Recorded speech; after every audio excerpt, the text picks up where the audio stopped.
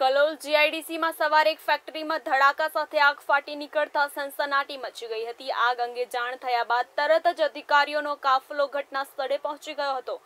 આગ પર કાબુ મેળવી લેવા માટે રોબોટ મંગાવવામાં આવ્યું હતું. ત્યારબાદ આગ પર કાબુ મેળવી લેવાના પ્રયાસ હાથ ધરાયા હતા. આગ પર કાબુ મેળવી લેવા કલાકોનો સમય લાગ્યો હતો.